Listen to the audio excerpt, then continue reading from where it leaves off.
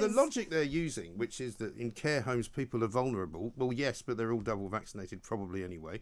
Yeah. And in hospitals where we know a lot of people die from COVID because that's where you get it. Mm. What's the difference really between all those places and other places where people work?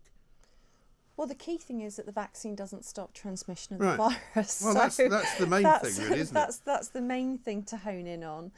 Um, and of course, things like this can be pushed through because they cherry pick yeah. data. So you you just mentioned in your intro um, the misuse of statistics yes. by the NHS chief exec. So she said there were 14 times more patients, um, COVID patients in hospital in November than this time last year. Right. That was not true. It was true in August, right. but it wasn't true in November. Actually, on the 5th of November, there were 7,072 patients in hospital and falling. And on the 5th of November 2020, it was 10,994 right. patients and rising. Yes. Now, people are wising up to this. They're wising up to this, plucking out of the air of the big numbers mm. and using them to support narratives. And they're really objecting strenuously, which I thought was great. You know, yes. the NHS isn't getting away with it anymore. But it's not the first time. It's not the first time, is it? What they do is, you know, there's um, a narrative they want to support, which mm. this time was get your COVID booster. And then they look around for supporting evidence. And they did a really bad job this time. But just over a year ago, um, in December, Simon Stevens, former chief exec of the NHS, said on the 29th of December that there were 20,426 patients in hospital with COVID. Yeah. Now, that number was true, but it was a misuse because I had some privileged access to insider NHS info at the time.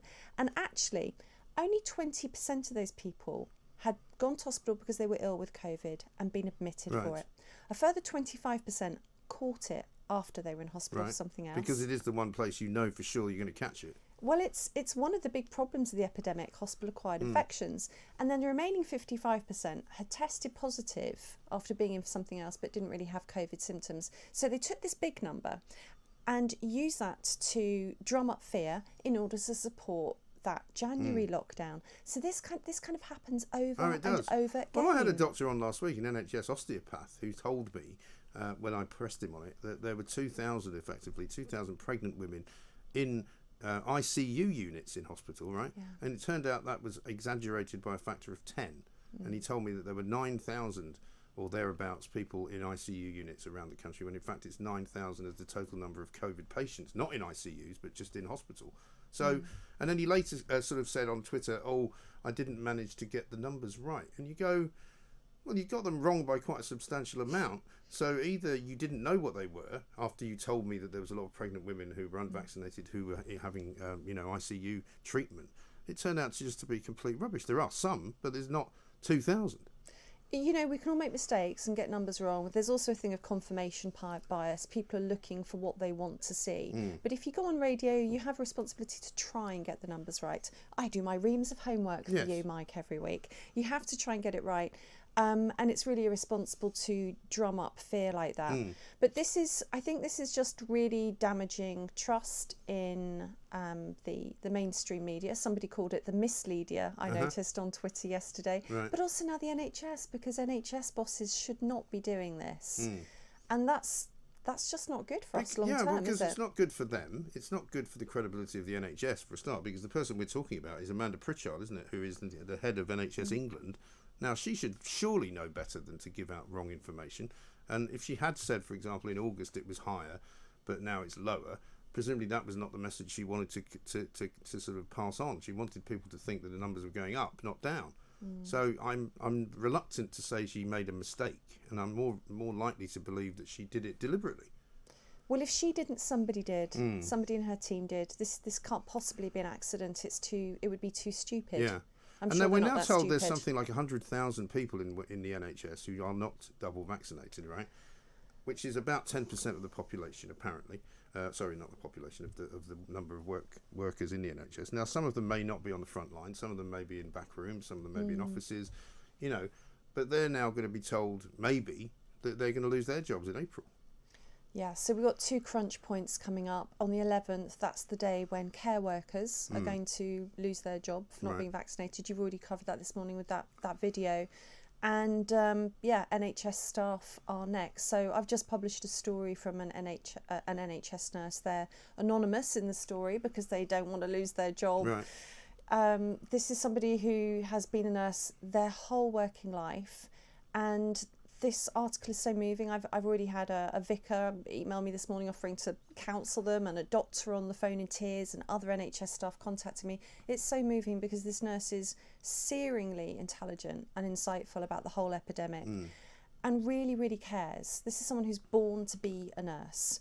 Now, they have reservations about having the vaccine for their own personal reasons, Right. but one of which is they've had COVID and they have antibodies. And they understand that the vaccination doesn't provide them with sterilising immunity, which they don't need because they've had COVID, but mitigates symptoms. And they don't want to have the vaccine. And they've got reasons for that, which shouldn't be anybody else's business, in my view. Even if your No. employer says you should tell us about this, in most cases you don't have to.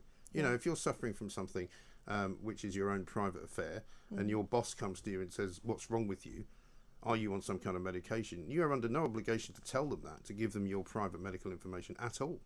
Well, you shouldn't be, and this nurse shouldn't even have to say so in, in this article, except they want to you know, convey their whole perspective on it. Hmm. So, because of that, this is a nurse who will end up leaving the NHS. And this is exactly the kind of nurse you do not want. You do not want this nurse to leave the NHS. No. They should be there, but that's not the whole reason. Also, they're they're appalled. They're in knots about the idea of a two-tier society, and part of the reason is they have practical experience of working with COVID patients. So they do something that's called um, COVID patient remote monitoring. It's effectively a virtual COVID ward. Right. So they look after people before they're ill enough to be in hospital, Okay. provide symptom support, reassurance, monitoring, and transfer them to hospital if they need to. And every single one of their patients right now is double and triple vaccinated. So it doesn't stop you getting COVID. No. And that's given them this additional perspective. And I mean, honestly, befuddled wouldn't, uh, they're befuddled, in pain, confused, and angry about the fact that vaccines would be mandated for anybody Right. and they can't be part of it. So when this happens in the NHS, not just because they don't want the vaccine, but because they don't think this should happen to anyone, they'll leave. Yeah. How how and we we're got, already we told. here? Well, and if say for example, um, fifty percent of those one hundred thousand people decide to get vaccinated, you still lose fifty thousand, and apparently we're already in a short shortage of, uh, of of supply for nurses, for doctors, for all sorts of people, right? Yeah, But what, are you- what about people that say, but surely if you're in the NHS, you would want to uh, be vaccinated? Because there is that belief abroad where there are some people, and I've heard them say it. Well, surely if you work in the medical business, you would be vaccinated because either you believe in it or you don't. okay. And that's a kind of a strange thing to say, I think. I think it's strange. I mean, this nurse, in you know, in their own experience, they've had every vaccination and booster they've ever been asked to have. They don't want this one for all the good reasons Right. I've just explained, and that's completely understandable. But you could have any sort of reason for an exemption. It's, it doesn't mean it doesn't negate you wanting to be in the NHS or to care for people. Yeah, it doesn't mean that you don't believe in the NHS or that you don't believe in medical, um, you know, cures for things, does it? No, I think that's a really simplistic argument that's being used to to turn around on people and attack them Yeah. for completely reasonable and personal objections. I, I'm I'm just fed up with it. It's facile and it's mean. Actually, it's an oversimplification. But then there was a report in the Telegraph yesterday. Now this is a re- this is a really important statistic, but it's being misused. That 11,600 people have died after catching COVID in hospital. Right. This is something I've been trying to alert people to since last summer. I wrote my first article about um, hospital acquired infections last year. It's really important we know this number, but this number is being used to prop up the idea that NHS staff should be vaccinated mm. as a justification for mandating vaccinations. But what else could we use that number for? We could say, well, look, hospitals are built like mini cities and it's useful in lots of ways to have lots of healthcare under the same roof, but for an infectious disease, it's a nightmare. Mm. We could use this figure to talk about the fact that um, NHS staff haven't had adequate PPE, especially at the beginning. Right. You know, you had ITU staff that were fully goggled up, but everyone else in a pinny and a surgical mask, But also a lot which of what- doesn't do anything. And an awful lot of what they were doing and what they thought they were doing for good, like cleaning surfaces and all of that, they then later said it didn't matter. Yeah, sure. Uh, emphasis on fomite Yeah. transmission rather than the fact that it's an, an airborne Yeah, aerosol virus. Totally. Uh, Um, or we could talk about the fact, well, this figure shows that one of the biggest problems we've had in the epidemic is hospital acquired infections, and lockdowns were never going to touch that, No. apart from reducing overall traffic in hospitals. But no, what this figure is being used to do is justify the fact that NHS staff must suck up their mandatory vaccination. It's another example of a big number being cherry picked to support a story. Right. And what they don't give you, and I had this with conversation with that doctor who gave me the wrong figures.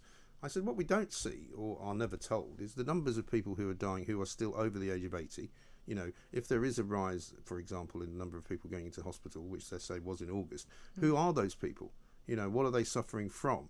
Do they have comorbidities? Are they vulnerable? Because there's an awful lot of people that have not been affected by this disease. Loads, in fact. Mm. But the majority of the population have not been in contact with COVID or haven't had it.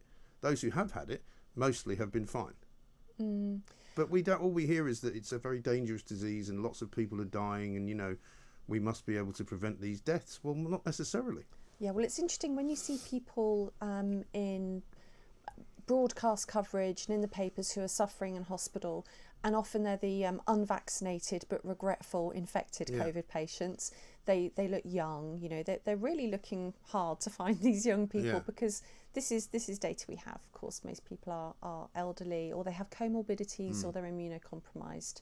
That's Yes, that That's would clear. seem to be the majority of people who are injured. I remember watching a Channel 4 news report um, back in the summer of last year where they went inside an ICU unit where, surprise, surprise, they found some people who weren't very well. And I'm going, well, it's an intensive care unit. Of course, they're not very well, but they were well enough to be interviewed. So they weren't actually, you know, on death's door. But they were three. Pa- there were three patients in this COVID ward, uh, which was an ICU ward, and all three of them were, were, were, able- well enough to talk and be interviewed by the by the woman with the camera and the great big microphone. And it was just this kind of absolute horror story that they were trying to create. And it was simply, well, this is what happens in an ICU ward. People Yeah. are lying there in a bed. They don't look great, but they're not dying. They're fine.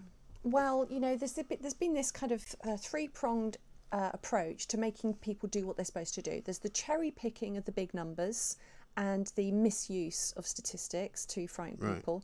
Then there's the the patient. There's the there's the heartrending story of the suffering patient, you know, the victim of COVID, and then there's the anxious pleas from overworked hospital staff. Hmm. But I think it's wearing really thin. It is. I mean, personally, I find it depressing to see the same old lines being trotted out over and over again. But like I said before, people are wising up and they are beginning to object quite strenuously, and it's looking it's looking poor, isn't it? Well, an awful lot of the reports I get from people just visiting hospitals is that by and large they're quite empty.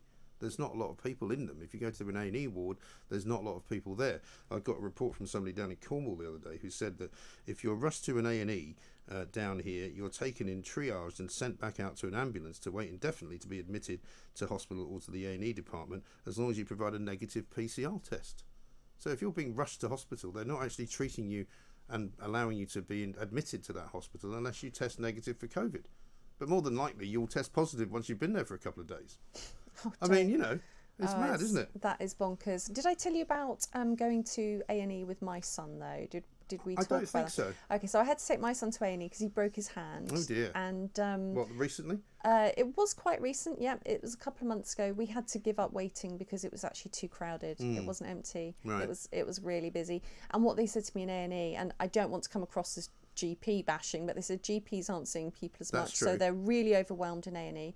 We had to leave. We had hmm. to leave with an untreated broken hand and go back the next day because we were going to be there all night. And as we arrived, somebody else was leaving with a broken foot who, who they hadn't been seen, hadn't been triaged. It was not good. No. It felt like we're in some kind of medieval sixth circle of hell, actually. Yes, and that is the problem because the knock-on effect of all of these things not working properly, like the GPs not mm. seeing people properly, not diagnosing things properly, means people are getting sicker and having to go to A and E or having to be admitted for, for something that if they'd been seen earlier, they mm. wouldn't have had to be.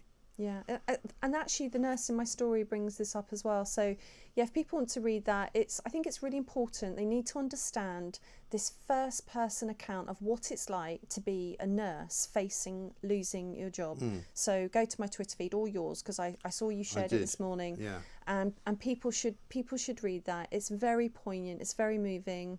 This is a, a deeply intelligent nurse. And what does she think she's going to do? Leave. But can she get another job somewhere? cross that bridge when they hmm. come to it. I'm not saying she. I'm very careful with oh, anonymity. They. All right. They is not They. non-binary. They is anonymous. They. Yeah. I never know. thought I'd hear myself say it. I know. I just try. I try to be really careful because they, you know, they're hoping that this won't happen Yeah. and they don't lose their job. And it could be that that's what the government's doing because there's a large percentage of people who are vaccinated. I'm looking at some numbers here, right? Number of first doses administered to NHS Trust healthcare workers uh, in the records is 1,350,384. Number of second doses, 1,307,832. So 93% have had a first dose 90% have had a second dose. Well, for me, there's no good scenario here. They're either going to do it, Hmm. which is a, a hideous encroachment on people's bodily sovereignty, but also it makes no sense scientifically, or they're bullying people. Yeah. And I, I don't. That we're caught between a rock and a hard place. And I, I can't believe those are the two options from our governments. Hmm. But also, is it not odd? I think it's very odd that these places of medicine, places where sick people go, they're trying to make it so that you can't be sick if you're there, and it's kind of it's like doctors that are saying don't come into the surgery if you're if you're ill, which is what they're saying. Believe it or I not, know, I know. don't come into the surgery unless you've had a COVID test. If you're ill, don't come in. I mean, these people have signed up to a life of care, you know, which of course has risks. I'm sure that people have caught all sorts of infectious diseases when they've been nurses and doctors over the years, but you, you know that that's part of the risk of the job. It's like if you become a police officer, you know that there might be a chance you get into some kind of punch up, somebody might try and stab you. You know, it goes with the territory, doesn't it? You'd think so. Right, can I just talk about something else that our horrible Yes. government are doing? And another reason why I'm on 8 out of 10 on the angerometer. Okay, Christmas. Christmas. Yeah, so our government of Grinches mm. Are dangling this threat about cancelling Christmas. Oh, yeah. over us again. But Can- why? Well, so um, Sajid Javid said that um, if we all come together and play our part and get our boosters, we can save Christmas. Um, and I didn't know it was in jeopardy. well, oh well, if you didn't, you you should because there've been threats to Christmas since mid-September. Hmm. Um, you know, ostensibly about supply chain. You know, everything from turkeys to trees is under threat. Oh yes. Well, I do shortage of the day now because it's so ridiculous that all the things that we're told we're going to run out of. Some things we are slightly short of, but not really. Apparently, there's a shortage of Walker's crisps at the moment. Believe it or not, our government um, has told us this to such an extent that people are actually buying and selling them on eBay for eight quid a packet. I mean, that's the society we now live in. That's a bit tragic. I don't is. mind. I don't mind if we run out of Brussels sprouts, but That'd everything else I want in plentiful supply, including seeing my family. So Sajid Javid said that young people should urge their older family to get vaccinated. Really? I'm like, I'm not going to tell my mum what to do. No. This is outrageous. Does he boss his parents Right. around like that? But it, what a weird thing. What a weird. First of all, if you're not good boys and girls, we might cancel. Christmas. And by the way, boys and girls, go and tell your naughty, your naughty parents to go and get vaccinated. This is not how it should work in a family. It's not our place to boss around No.